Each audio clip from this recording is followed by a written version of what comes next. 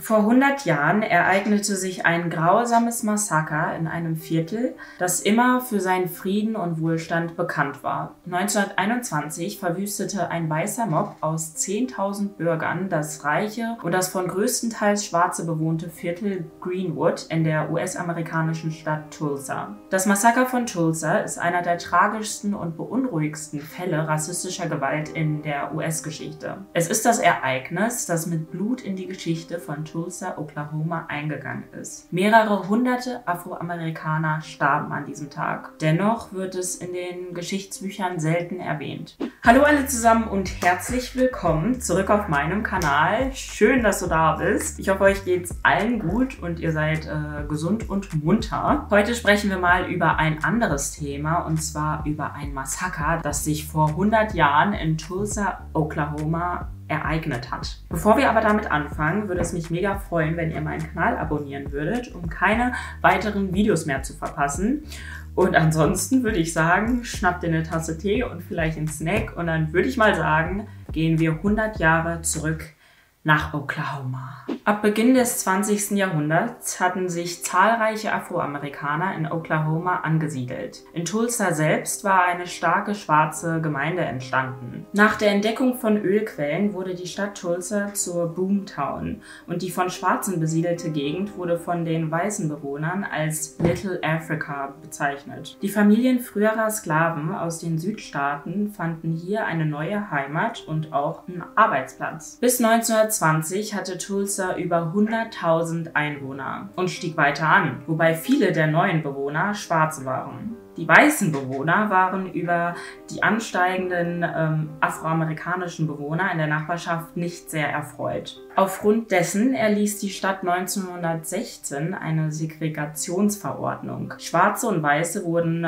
voneinander getrennt. Schwarze durften in keinem Block leben, wo 75 Prozent der anderen Bewohner weiß waren. Schwarze Bürger mussten sich anderswo ein Zuhause suchen. Das schwarze Viertel von Tulsa wurde Greenwood genannt. Trotz der rechtlichen rechtlichen Segregation blühte das Viertel und seine Bevölkerung auf. 11.000 Schwarze wohnten in diesem Viertel. Greenwood hatte eine Apotheke, ein Krankenhaus, ein Theater, eine Schule, eine öffentliche Bibliothek, zwei unabhängige Zeitungen, ganze 13 Kirchen und war voll von schwarzen Unternehmen darunter auch das größte schwarze Hotel des Landes. Die Gegend kam zu solch einem Wohlstand, dass Greenwood als Black Wall Street bekannt wurde. Ein friedliches Nebeneinander war es aber keineswegs. Mitten in der Jim Crow-Ära, der Zeit, in der Schwarze als faul, primitiv, dumm und kriminell dargestellt wurden. Vor allem in den Südstaaten der USA galten die Gesetze zur Rassentrennung und Diskriminierung. Gleichzeitig galt Tulsa als ein Zentrum der Aktivitäten des Ku Klux Klans,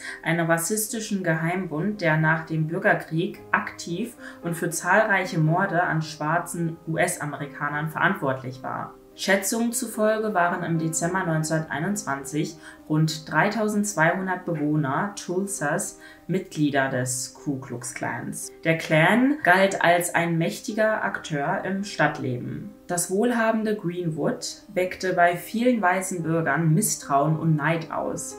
Ein Funken reichte, um Rassenressentiments hochkochen zu lassen. Und dieses Fünkchen lieferte ein Ereignis am 30. Mai 1921, als ein 19-jähriger Schuhputzer namens Dick Rowland das Brexel Building betrat. Er musste ein öffentliches Bad benutzen, aber weil er schwarz war, schränkten ihn die Segregationsgesetze auf die Benutzung von Einrichtungen an der Spitze des Gebäudes ein. Um dorthin zu gelangen, musste man den Aufzug nehmen. Und dort traf Dick Rowland die weiße Fahrstuhlführerin, eine 17-jährige namens Sarah Page. Was im Aufzug geschah, ist unbekannt. Aber was wir mit Sicherheit wissen, ist, dass ein Angestellter in einem nahegelegenen Kaufhaus etwas hörte, was er für eine schreiende Frau hielt. Er ging dem Geräusch nach und sah einen jungen schwarzen Mann aus dem Gebäude laufen. Dann fand er Paige im Aufzug. Er sagte, sie sei in einem Zustand des Schreckens gewesen, sodass der Angestellte schlussfolgerte, dass sie angegriffen worden sei und meldete dies der Polizei. In einem Artikel berichtete die Tulsa Tribune, der schwarze Schuhputzer Dick Rowland, 19 Jahre, habe versucht, eine 17-jährige Weiße zu vergewaltigen, die in einem Bürogebäude den Fahrstuhl bediente.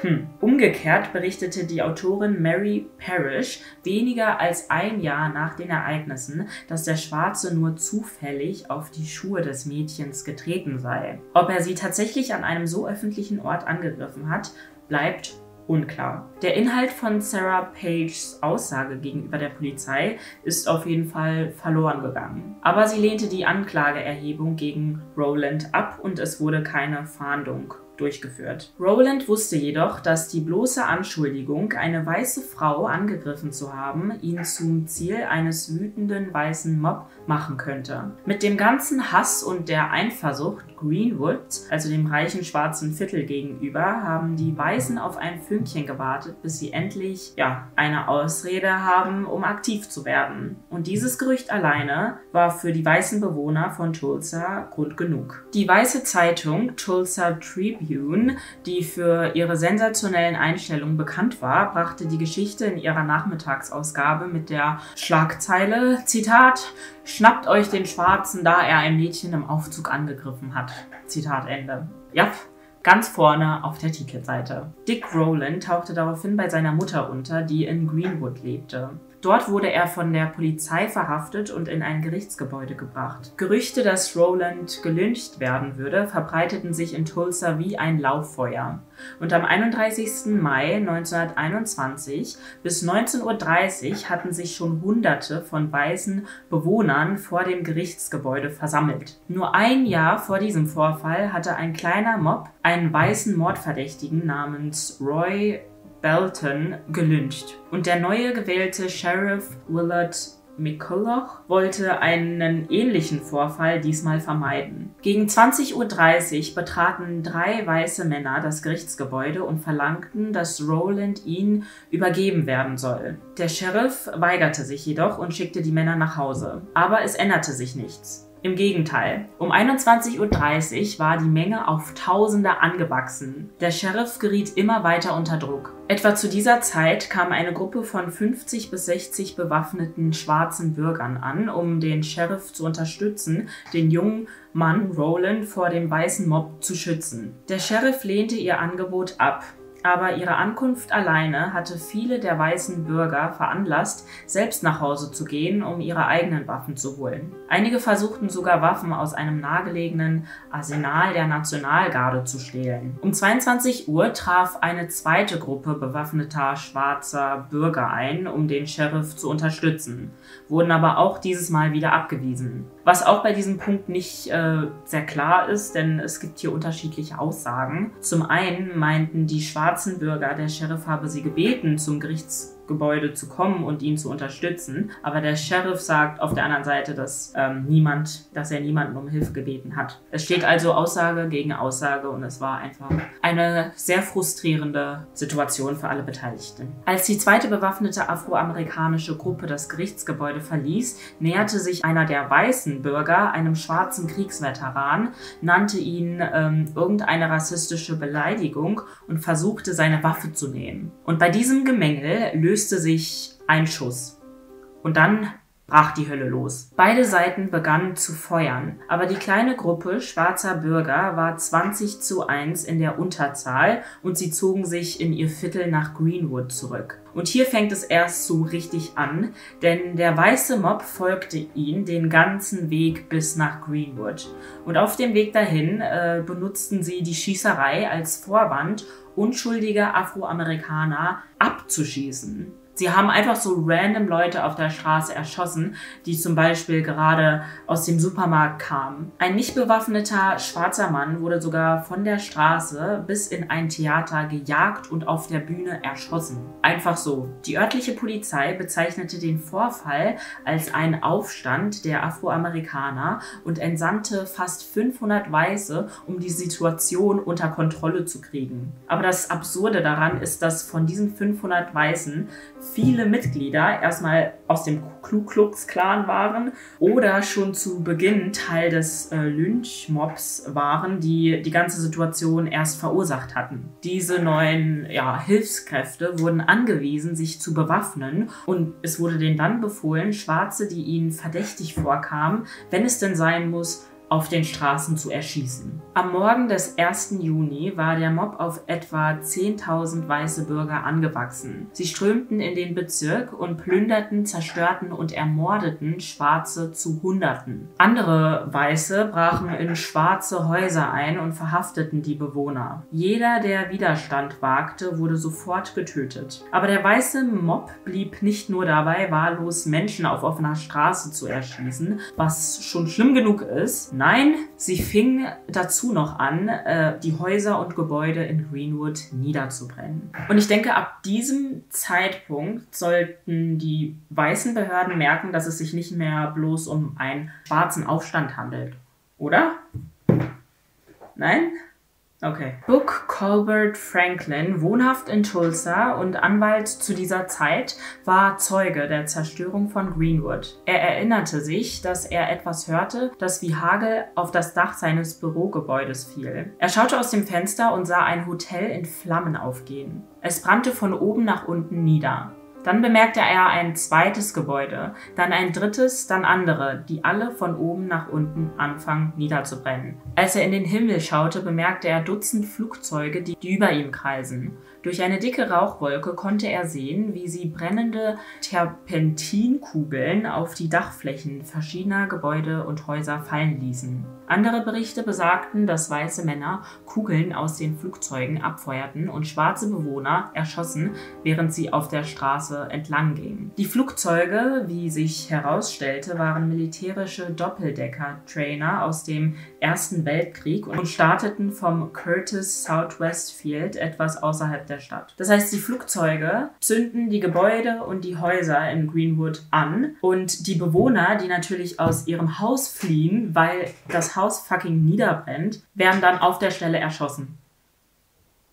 Können wir darüber mal reden? Die Strafverfolgungsbehörde sagte später, die Flugzeuge dienten zum Schutz der Bürger. Aber die Überlebenden des Massakers wussten es besser. Der Anwalt Franklin sah eine Frau mit ihren Kindern und drei Männern, einer mit einer Truhe aus einem Gebäude rennen. Er sagte, Zitat, der Mann, der die Truhe trug, war sehr alt. Wahrscheinlich hatte er in dieser Kiste viele Dinge, die ihm so wertvoll waren wie das eigene Leben. Als er getroffen wurde, ohne Zweifel von Dutzend Kugeln, ließ er seine Last fallen, schrie auf und fiel auf die gepflasterte Straße. Blut ergoss sich aus seinen zahlreichen Wunden und floss die Straße hinunter. Ich musste mich von der Szene abwenden. Zitat Ende. Als die Sonne aufging, war die Nationalgarde eingetroffen, um Ordnung wiederherzustellen, hoffen wir mal. Anstatt jedoch den weißen Mob ins Visier zu nehmen, verfolgten viele der Truppen stattdessen die schwarzen Bewohner. Über 6000 Menschen wurden verhaftet und in der Convention Hall eingesperrt und nicht einer von ihnen war weiß. Das muss man sich mal geben. Auch der Anwalt Franklin, dessen Geschichte wir ja verfolgen, wurde festgenommen und nachdem man ihn das Bargeld weggenommen hatte, ins Versammlungszentrum des Viertels gebracht, wo zahlreiche Bewohner Greenwoods eingesperrt waren. Zitat: Hier sah ich die farbige Lady von Bildung, Kultur und guter Erziehung auf der gleichen Stufe mit der Prostituierten und dem Straßenmädchen der gleichen Rasse. Hier sah ich einige der feinsten Leute der Rasse nur in ihren Bademänteln gehüllt, weil sie so übereilt aus ihren Häusern gezerrt wurden, dass sie nicht einmal Zeit zum Anziehen hatten. Hier sah ich eine Mutter, die in einer dunklen Ecke dieses riesigen Gebäudes ein Kind gebar, eine Frühgeburt, und hörte dessen erste raue Schreie inmitten dieser sonderbaren, ungehörigen und schlimmen Umgebung. Zitat Ende. Einwohner suchten in den Ruinen nach unbeschädigtem Eigentum. Noch Monate später sollten entrüstete afroamerikanische Frauen ihren Schmuck an weißen Passanten wiedererkennen und ihnen Ketten oder Ringe vom Hals und den Fingern reißen. Als die Sonne am nächsten Morgen aufging, waren von Greenwood nur noch rauchende Ruinen übrig. Mindestens 300 Einwohner waren tot, 10.000 obdachlos, 35 Blöcke zerstört. Tausende von schwarzen Bewohnern waren inhaftiert inhaftiert worden. Und um noch dreist einen draufzulegen und Salz in die Wunde zu streuen, war die Schlagzeile der Morning Tulsa Daily für den Tag, Zitat, zwei Weiße sind bei Rassenunruhen gestorben. Zitat Ende. Der Artikel behauptete, 500 bewaffnete Weiße hätten heldenhaft tausende bewaffnete Schwarze abgewehrt. Später am Tag fügte eine andere Schlagzeile Öl ins Feuer, indem sie ausrief, Zitat, viele weitere Weiße erschossen. Zitat Ende. Viele suchten die Schuld am Massaker bei den Schwarzen, wie der Generaladjutant Charles Barrett, Anführer der Nationalgarde, selber sagte, Zitat, Passt auf. Wenn man diese ersten bewaffneten Schwarzen eilig festgenommen oder bei der Weigerung, sich zurückzuziehen, auf der Stelle erschossen hätte, würde dieser furchtbare Schandfleck jetzt nicht auf ihrer Stadt haften. Zitat Ende. Ich lache nicht, weil ich es lustig finde, sondern weil ich wirklich einfach schockiert bin, dass so etwas Unfaires von Grund auf passiert ist. Und es kommt sogar noch schlimmer. Die toten Afroamerikaner wurden von den Medien völlig ignoriert und die Grand Jury war bereit, die Schuld für die ganze Sache den Menschen von Greenwood zuzuschieben. Als alles vorbei war, war das Viertel, das einst als schwarze Wall Street bekannt war, unwohnbar. Schwarzen Geschäftsleuten und Hausbesitzern wurde von den Gerichten eine Entschädigung verwehrt und ihre Versicherungsgesellschaften weigerten sich, den Schaden zu decken. Ein Beispiel, das Stratford Hotel war das größte Unternehmen Unternehmen seiner Art, das einem Schwarzen in den USA vor der Bürgerrechtsära gehörte. Das Stratford Hotel hatte 54 Zimmer und war mit Luxus wie Kristallkronleuchter ausgestattet und war irgendwo im Bereich von 75.000 Dollar wert, was äh, heute ungefähr eine Million Dollar wäre. Dennoch wurde es zusammen mit dem Rest von Greenwood während des Massakers zerstört. In einer gerechten Welt hätte Stratford eine Entschädigung für seinen Verlust erhalten. Aber 1921 war Tulsa alles andere als gerecht. Stratford, dem das Hotel gehörte, wurde zusammen mit 69 anderen Männern verhaftet und der Anstiftung zum Aufstand angeklagt, der sein eigenes Hotel niederbrannte. Später kam er auf Kaution frei und äh, flüchtete aus dem Staat, um äh, nicht gelyncht zu werden. Dick Rowland wurde nie im Zusammenhang mit dem Vorfall im Aufzug angeklagt. Nach dem Massaker verließ er schließlich Tulsa und kehrte nie wieder zurück. Absolut verständlich. Rückblickend spekulieren viele, dass der angebliche Angriff auf Sarah Page lediglich ein Vorwand für die weißen Bewohner Tulsas war, um eine erfolgreiche schwarze Gemeinde zu zerstören, die sie schon immer gehasst haben. Erst 2001 wurde die Stadt für das Massaker in Greenwood mit verantwortlich gemacht, da die Polizei selbst aktiv an den Gewalttaten des Mobs beteiligt war. Die Stadt Tulsa wurde angewiesen, Entschädigungen an die Überlebenden des Massakers und ihre Nachkommen zu zahlen. Bis jetzt wurden sie immer noch nicht ausgezahlt. So, das war's mit der Geschichte. Ich hoffe, es hat euch gefallen, beziehungsweise ihr fandet es interessant. Schreibt mir gerne unten in den Kommentaren, was ihr von dem Fall haltet. Ich muss ehrlich sagen, ich bin immer wieder äh, überrascht und schockierend zugleich, wie viele Ereignisse es doch in solcher Art in den USA gibt die aber kaum in Geschichtsbüchern überhaupt thematisiert werden, was total schade ist. Und ich denke, da machen andere Länder, wie unter anderem Deutschland, einen viel besseren Job, die Vergangenheit aufzuarbeiten und auch Verantwortung zu übernehmen. Naja, wie dem auch sei, ich hoffe, euch hat es gefallen. Schreibt mir gerne unten in den Kommentaren, was ihr von, dem, von der Geschichte haltet. Und ansonsten würde ich sagen, bleibt alle gesund und wir sehen uns beim nächsten Mal wieder.